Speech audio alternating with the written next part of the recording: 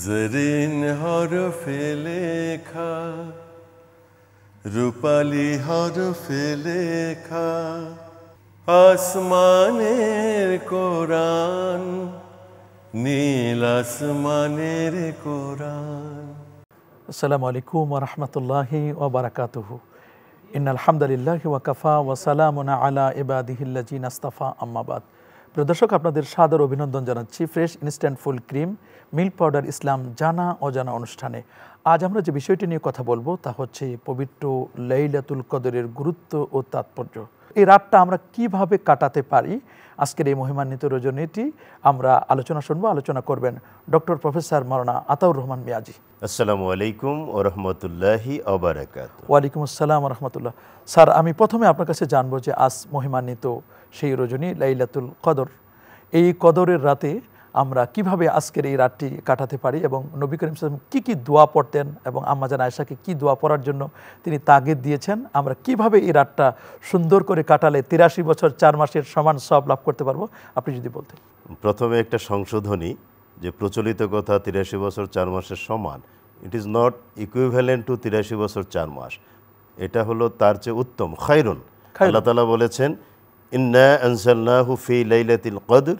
ওমা আদরা কামা লাইলাতুল কদর লাইলাতুল কদরি খৈরুম মিন আলফি সাহার তার মানে আল্লাহ তালা নিজে বললেন লাইলাতুল কদর এ রাতে আল্লাহ কোরআন কারিম অবতীর্ণ করলেন এবং আল্লাহ প্রশ্ন করলেন ইয়া রসুল আল্লাহ আপনি কি জানেন? এখানে নবীজিকে প্রশ্ন করার মানে হলো আপনি নিশ্চয়ই জানেন আমি কি বলব? তার মানে আল্লাহ মেসেজটা বললেন যে আপনি কি জানেন লাইলাতুল কদর কতটুকুন মর্যাদা সম্পন্ন, মহিমান্বিত, কি এর গুরুত্ব, তাৎপর্য, মাহাত্ম? আল্লাহ নিজে পরবর্তী আয়াতে বলে দিলেন, লাইলাতুল কদরি খৈরুম মিন আলফি সাহার লাইলাতুল কদর ওই রাত যে রাতের মর্যাদা এক হাজার মাসের চেয়ে উত্তম, নট সমান সমান।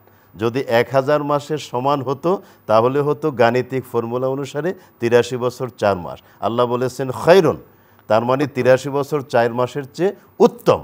তার মানে হলো ওই উত্তম কতটুকুন? এটা আনলিমিটেড এটা একমাত্র আল্লাহ তালাই জানেন। আল্লাহ ভালো জানেন ওটা তাকোয়ার মানদণ্ডে যিনি যত উন্নত তিনি তত বেশি সওয়াব মর্যাদা গুরুত্ব এই রাতে লাভ করবেন। সুবহান আল্লাহ আমরা এই রাতে কি আবাদত করব? আমি একটু সংক্ষেপে বলি এটা তো স্টার্ট হবে মাগরিবের নামাজ থেকে। হ্যাঁ আমি ওই কথাটাই বলছি। দেখেন এই রাতের গুরুত্ব কিন্তু আমরা সবাই কম বেশি পেয়ে যাই। কারণ শুরু হয় সূর্যাস্তের পরপর। তার মানে সূর্যাস্তের পরপর আমরা ইফতার করি। ইফতারটা তো আবাদতের অংশ গুরুত্বপূর্ণ অংশ। এবং ইফতার আগে দোয়া করলে সে দোয়া করি সেই দোয়াটা কবুল হয়। সুতরাং লাইলাতুল কদরের এবাদতটা কিন্তু শুরু হয়ে গেছে। সূর্য অস্ত গেল দোয়া করলাম ইফতার করলাম। তারপরে মাগরিবের সলাদ আদায় করলাম। তারপরে আমরা নফল নামাজ অনেকে যার যার সুবিধা মতো পড়ি মাগরিবের পরে তো দুই রাকাত। সুন্নতের আওয়াবিন হ্যাঁ। তারপরে আরও যদি সময় থাকে আমরা সুন্নাত পড়ব নফল পড়ব। তারপরে একটু রেস্ট নিয়ে খেয়ে দিয়ে আমরা তারাবি পড়তে যাচ্ছি। বিশ রাকাত তারাবি আট রাকাত নয় এটার ব্যাখ্যা পড়ে। তো এই যে বিশ রাকাত তারাবি পড়লাম কেয়ামুল লাই বলি লাইল বলি তারাবি বলি নফল বলি সুন্নত বলি এটা তো সলাৎ এবং এটা তো এবাদতের অংশ এবং এটা লাইলাতুল কদরেরই অংশ। সুতরাং আমরা পেয়ে গেলাম। তারপরে আমরা প্রথম যে কাজটা করব, সেটা হলো যেহেতু এই রাতে আল্লাহ তালা কোরআন কারিম অবতীর্ণ করেছেন, এজন্য কোরআনের আমাদের উপর চারটা মোটা দাগে হক রয়েছে। ওই হকগুলো অন্তত আমরা কিছু পরিমাণ হলেও আদায় করার চেষ্টা করব। নাম্বার ওয়ান, আমরা বিশুদ্ধভাবে কিছু অংশ তেলাবাদ করব।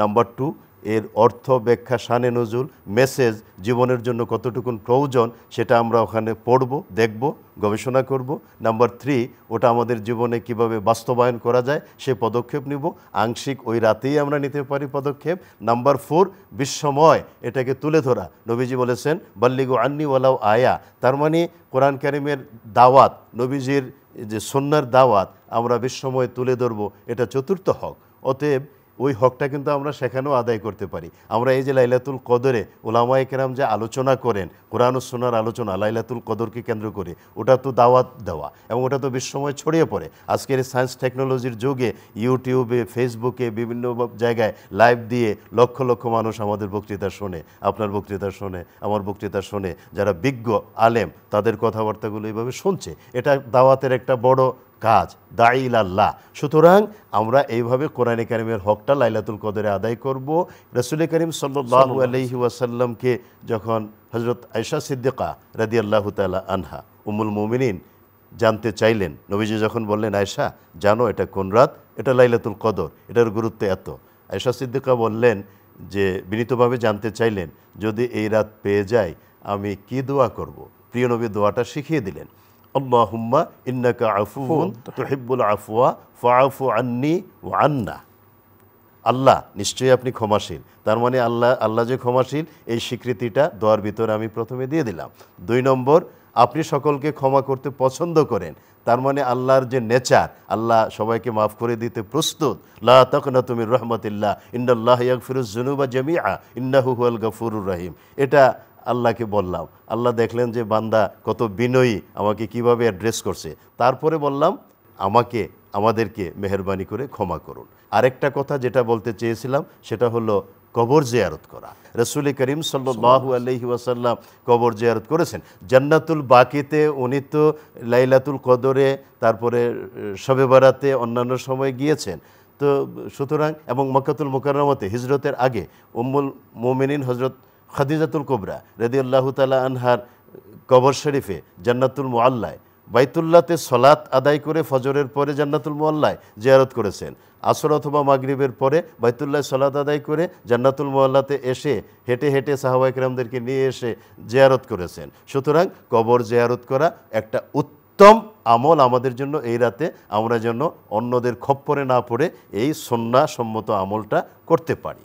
আর একটা কথা আমি বলব, এর পাশাপাশি যারা তরিকাপন্থী, যারা তাকোয়ার কথাটা ভালোভাবে উপলব্ধি করেন, ওইভাবে আমল করেন। আমরা যেটা জানি প্রিয়নবী বললেন আত্মাকোয়া হা হুনা আত্মাকোয়া হা হুনা আত্মাকোয়া হা হুনা। তার মানে তাকোয়ার সম্পর্কটা এখানে, বাহ্যিকভাবে নয়, ওটা অভ্যন্তরীণ। আত্মিক একটা সম্পর্ক স্পিরিচুয়ালিজম আধ্যাত্মিকতা, রুহানিয়াত, ওই ওই শক্তিটা ওই শক্তিটা কতটুকুন শানিত হবে, ওটা আমরা দেখব। এই রাতের এবাদতের দ্বারা আল্লাহ তালা খুব সহজে ওই শক্তিটাকে শানিত করতে পারেন, উর্বর করতে পারেন এবং আল্লাহ রব্বুল আলমিন প্রিয়নবী একথা স্পষ্ট বলেছেন, অন্যান্য রাতে আল্লাহ রব্বুল আলমিন রাতের দুই তৃতীয়াংশ অতিবাহিত হওয়ার পরে শেষ তৃতীয়াংশে প্রথম আকাশে, তার মানে বান্দার খুব কাছাকাছি চলে আসেন আর বান্দাকে আহ্বান করেন, বান্দা, তোমার কি প্রয়োজন? আমাকে বলো। আর এই রাতে লাইলাতুল কদরে সবে বরাতে এই ধরনের বিশেষ রাতগুলোতে আল্লাহ কিন্তু শেষ তৃতীয় অংশে আসেন না। সূর্যাস্তের পরপর আল্লাহ রব্বুল আলমিন বান্দার একদম কাছে চলে আসেন। বান্দা বান্দার কাছে আল্লাহ আসে নাকি আল্লাহর রহমত আসে? আল্লাহর রহমত? আল্লাহর রহমত আল্লাহ আসা মানে আল্লাহর রহমত। তার মানে আল্লাহ তালা বলতে থাকেন যে নেয়ামত কত নেয়া দরকার? নাও। নিয়ে নাও। আল্লাহ ওপেন রেখে দিয়েছি। সুতরাং আমরা এটার সদ্ব্যবহার করব আমরা কোরআন করিম তেলাবাদ করব কবর জিয়ারত করব আর অন্যান্য নফল সলাদগুলো আদায়ের পাশাপাশি তাহাজ্জুদ যেন আমরা মিস না করি। খুব করে বলছিলাম স্যার তাহাজ্জুদ যেন মিস না হয়। প্রিয় দর্শক আমরা সারাত এবাদত বন্দী করব কিন্তু ফজরের নামাজটা যেন মিসিং না হয় কারণ মুসল্লি চিনা যায় ফজরে, বন্ধু চিনা যায় বিপদে আর সফরে। ফজরের নামাজটি পড়ে আমরা একটু বিশ্রাম নিব।